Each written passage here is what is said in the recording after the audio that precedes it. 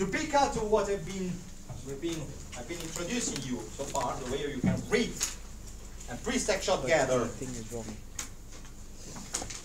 by looking at the geometry of the parabolics, direct line or refracted line, what they look like as a linear line, or the reflected one as a parabolic. Oh, wait, that, that's perfect like that. Yeah. Otherwise, they don't see from that. And uh, we have seen you can read the parabolic function as the weight is registered by various a certain distance respect to the source. We have learned that in reality the apex of the hyperbolics represents the place where you expect to see the real position of the reflector on the horizontal reflector, in case I'm exploring a parallel, more or less parallel situation. So apex to apex for every parabola should give you an idea of more or less the thickness of the layer in times.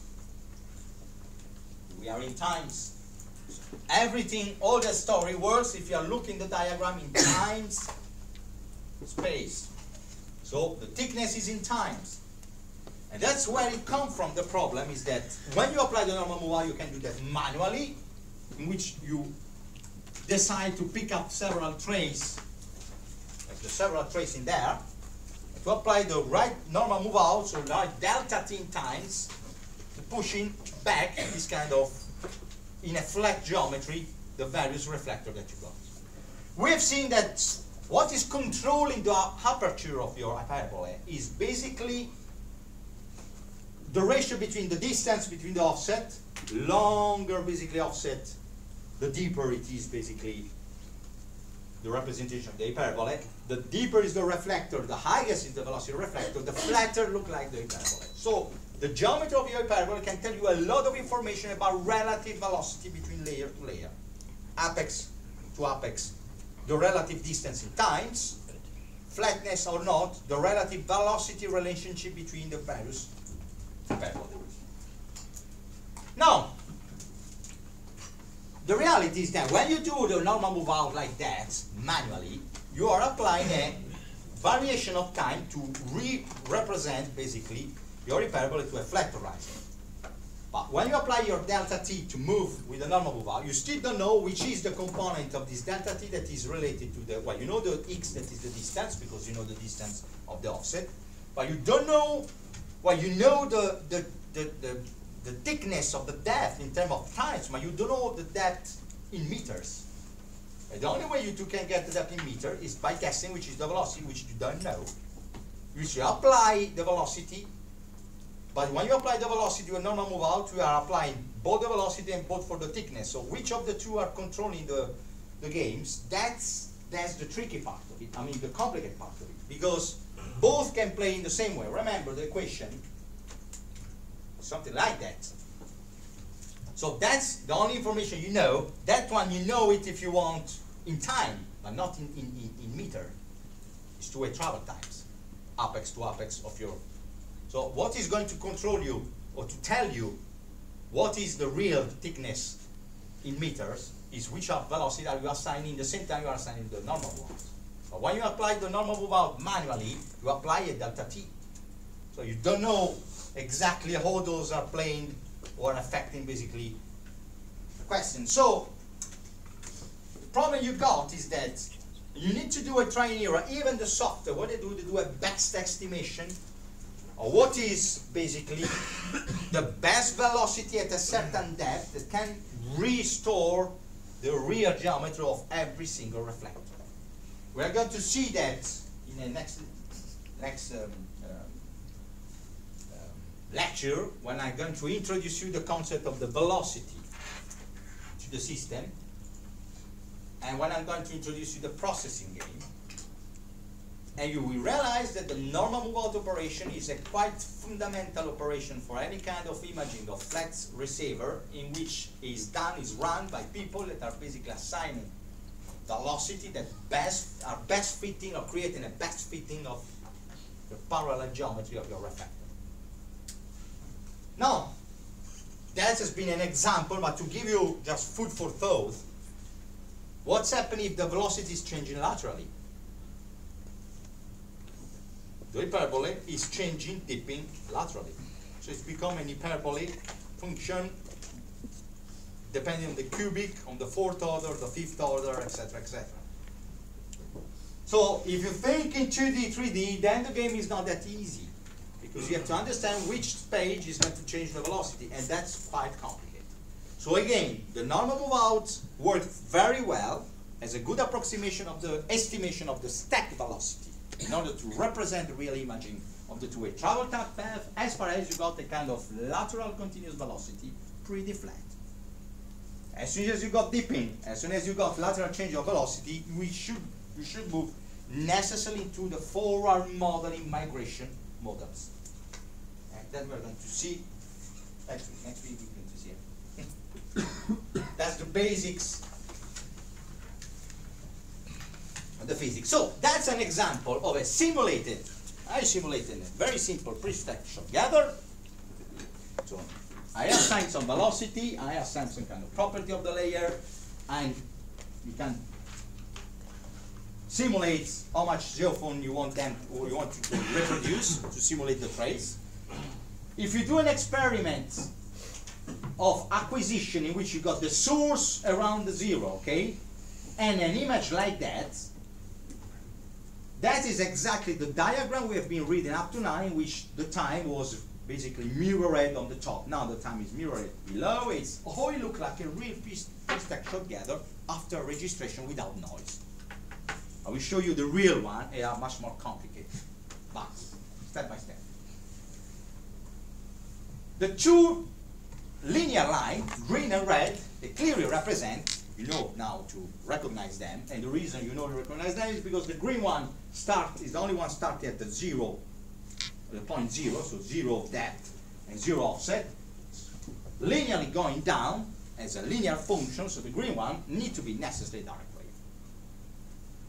The other linear line that is starting at a certain distance, and the distance you can pick up in terms of meters from your geophone, so you understand that the geophone, if this is 200 meters, you got the kind of one, three, kind of 20 geophone in between, is 10 meter every geophone, well, it's telling you that if it is in milliseconds, we are acquiring almost at a very, very shallow, basically, condition. What is happening is that here you see the first arrival of the refracted wave is registered by a geophone that is a distance of 40 meters. So you need to have basically a second layer somewhere that is creating an object that is registered by the geophone, and this second layer need to have a higher velocity respect to the first one It is being registered probably, not probably, it's being registered by the direct wave. Okay? Where you got the position of this kind of second layer, where the second layer start, well, where the first hyperbolic function start to appear, and definitely in the apex, it should be around there. Okay? So that's more or less the place where you should position your reflecting layer, and probably you're basically in an imaginary geometry like that, your refracted wave is traveling like that there, and then boom, tak. So it's going very short path, it's going to be registered quite immediately by any geophone at the distance of 40, 50 meters. So we are very, very shallow, okay? 10, 20 meters. Right.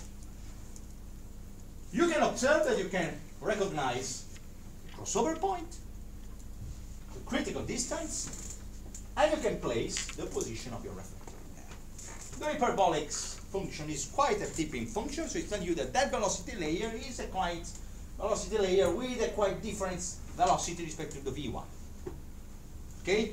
Not that big because the place where the refraction is basically taking over the distance is not basically uh, is not that uh, nearby respect to the distance. So if, if this is a kind of few 20, 30 meters well, at 200 meters, we have to have 200 meters to get the crossover point. So you can have, if you want, an empirical relative estimation of the velocity of the system by looking at this kind of image. And you can start to play with the dip, the velocity of that first layer. If you know the dipping and you calculate the dipping in terms of distance there and time there, and you you have an idea of this is representing basically a wave that is traveling directly from the receiver to the source. So if you pick up any of those geophones and you compare which velocity that layer is arriving to them, in theory should arrive at the exact same velocity, you can basically have a kind of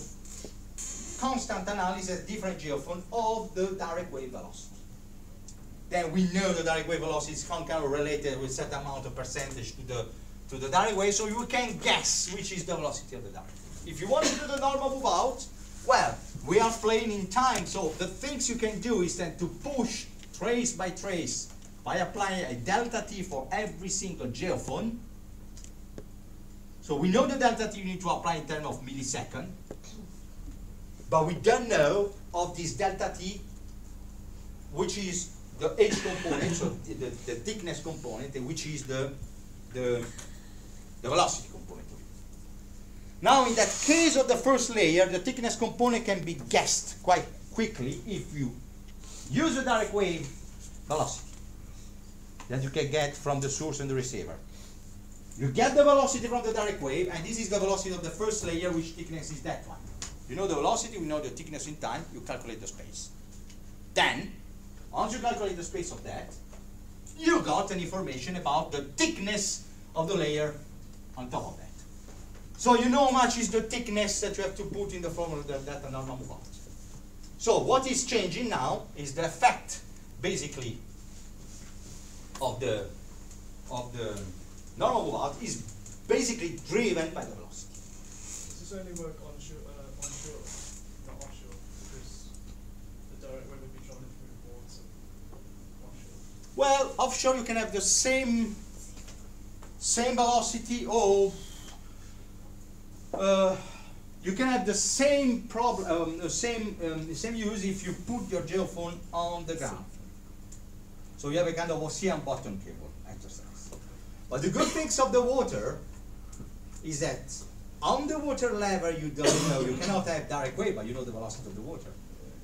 So natural system is is evil, but not that evil. So in case of water, what is the good things? The good news in case of water is that the first reflector you know exact more or less which is the velocity. Is the water. So you can still play the games without even using the, the, the surface wave. And you can reapply the same game by using the ocean bottom cable for the second layer, which is the first seabed and the second layer. okay? Indigest material, I know.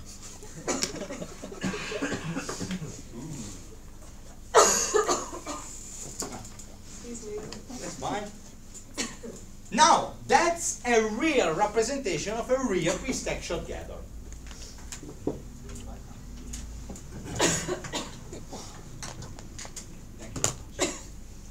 This is what we got in the real pre-textual gather on the right. Pretty, pretty messy, but not completely messy. Now, it's a bit weird then that pre-textual gather, but it is weird because you see the distance. Well, can you recognize? Well, it's, it's, it has been interpreted, but if I was you, I would object to interpretation of the reflected wave. I'm not saying they are wrong; they are correct, but it's not the first hyperbolic function that you see on the the pre-textual gather, isn't it? You got several other ones. So say you start already probably in there to have a big hyperbolic there, at least in there, for sure in there, isn't it? So it's telling you that the reality is a kind of much more complicated reality. Now, we haven't introduced them still, but now it's time to introduce you another kind of animals within the zoo of the wave reflection. And one of the animal is, from my point of view, both as a processor, as an interpreter, they are the most terrible animal. It's the most, I would say, an annoying animal that you can find it. What is driven million of money to get solved, they are the bloody multiple. the bloody multiple are all those kind of reflective layer that are basically not reflecting once, are reflecting several times.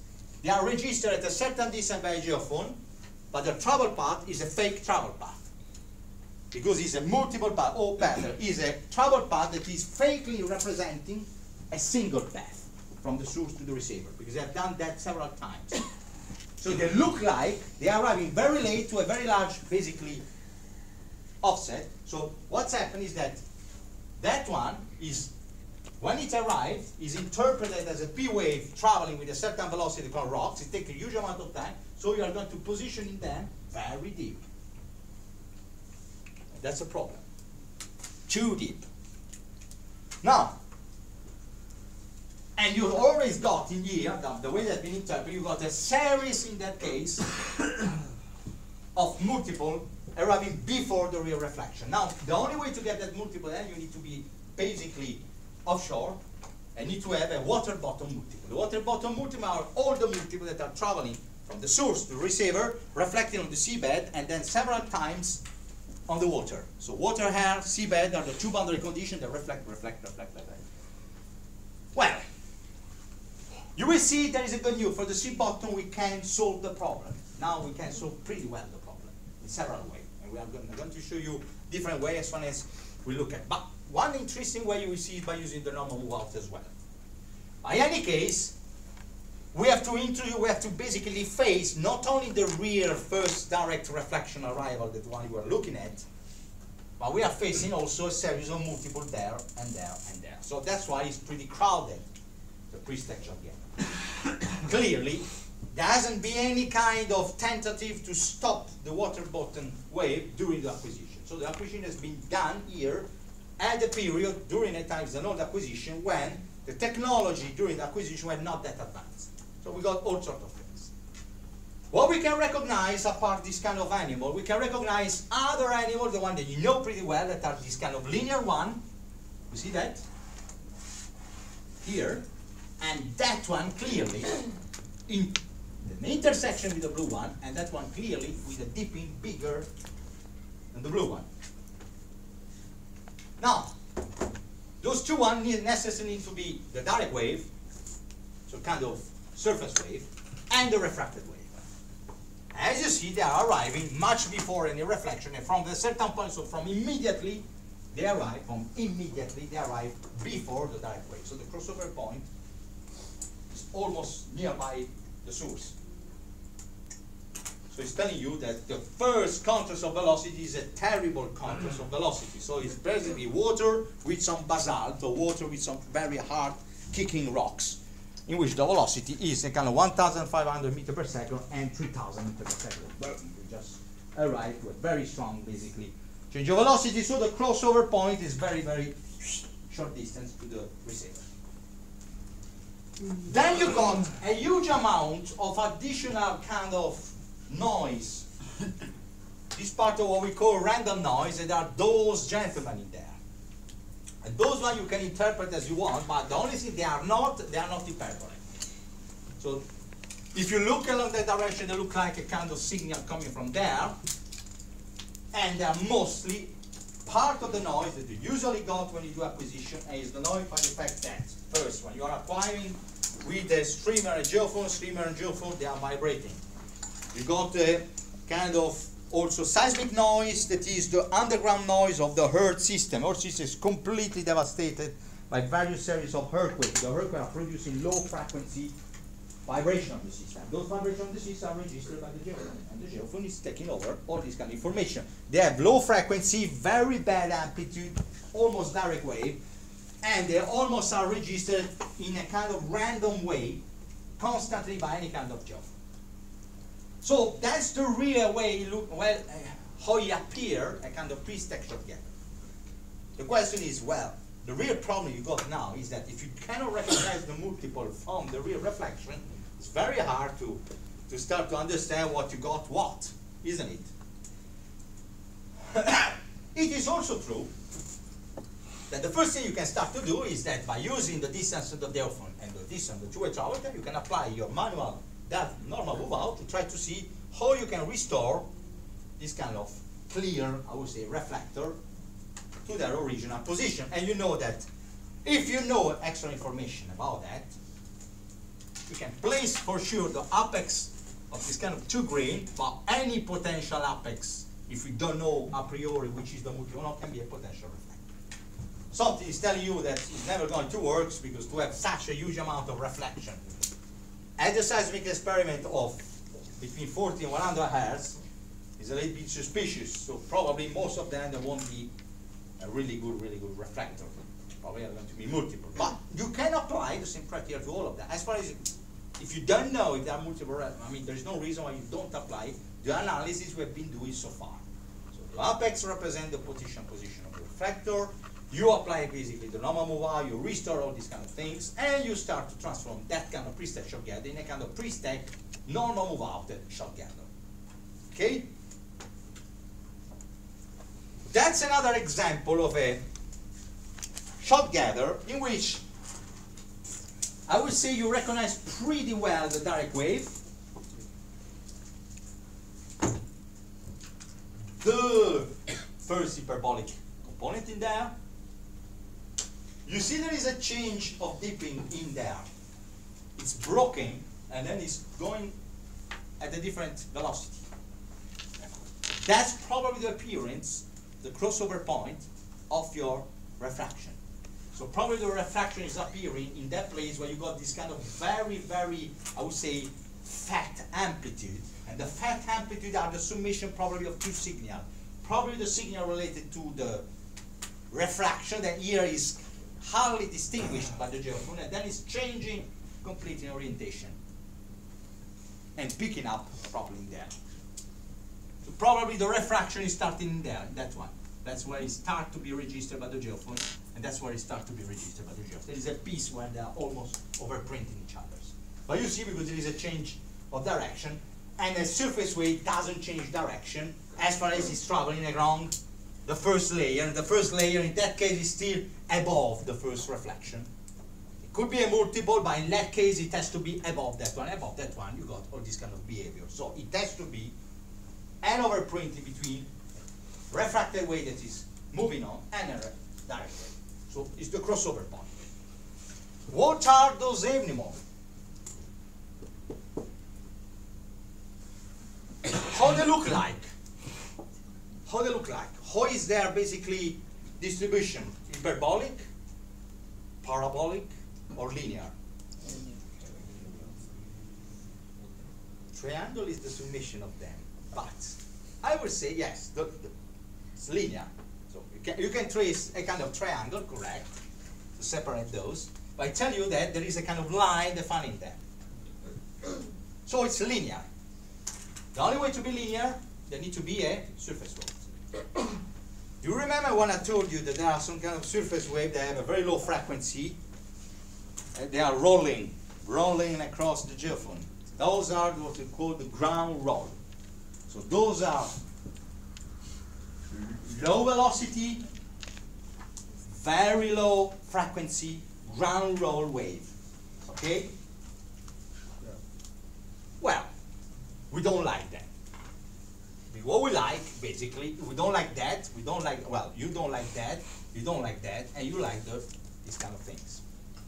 Like the reflection. You want to see the reflection, and then you want to play with the reflection to recorrect the imaging. So what do people do? They apply a filter to get out to rid of them. But as you see, the result of getting rid of them is that you cancel a bit of the true signal in a bit of, I mean, a bit of the reflection signal as well as far as you cancel most of the ground roll. And you have to cut off all these objects that are basically before this kind of first reflection to cut off all the direct and the refracted wave. So that's the cleaned version of it. So how do you think we could clean this kind of this kind of uh, wave object? Oh, this is another example, for example, which you can clean it. You recognize the direct wave and the refracted wave. You see that one? Slightly different angle respect to those one. So you got a huge amount of overprint of quite linear object with a slightly different dipping, but in there, so you got probably an amalgamation of several refracted and direct wave. You got a huge amount of signal in there as well interfering. So could be multiple of the surface wave as well. It's another beast of the beast. So the zoo is growing up. But you got the first, again, hyperbolic component and reflection in there. What the people did in there, they cleaned it up, all of them, like that. So you apply a filter, you clean it up. Now, that's in a kind of a precursor information about what we are going to do, but basically, to cancel the multiple, we have three possibilities. We know that the multiple should have a kind of, well, there are different type of multiple, we are going to see them. It's only depend, some multiple got a very weird velocity, so they are positioned in the wrong way, so below some other real rock reflection, but with a velocity that is very weird, so it is around the velocity water. So in that case, when you apply the normal move out to this kind of multiple, you realize soon that the more normal move out you have to apply require a velocity that is of the velocity of the water. And this is not possible if it is happening below a secure or a sure reflection of a proper lithology.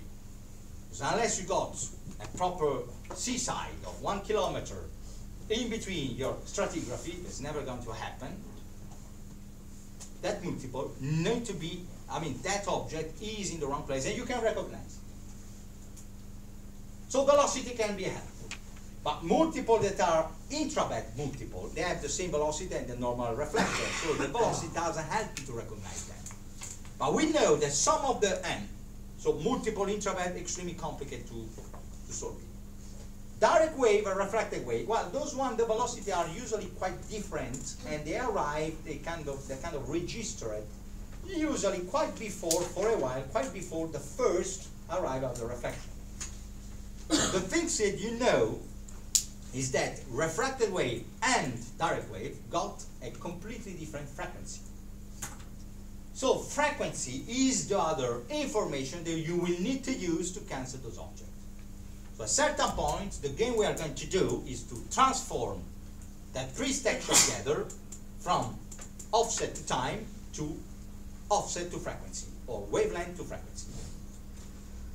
So that all the reflected wave will appear with the same amount of frequency, the direct wave with a different type of frequency, and playing with the frequency domain, you can cancel all the pre-stack, basically in the pre-stack stage, all the direct wave and the refracted wave. Okay? Now, for that kind of slide, I would say the argument, what I call the topic related to the ray trace theory is almost almost done. What we need to start is a new subject that is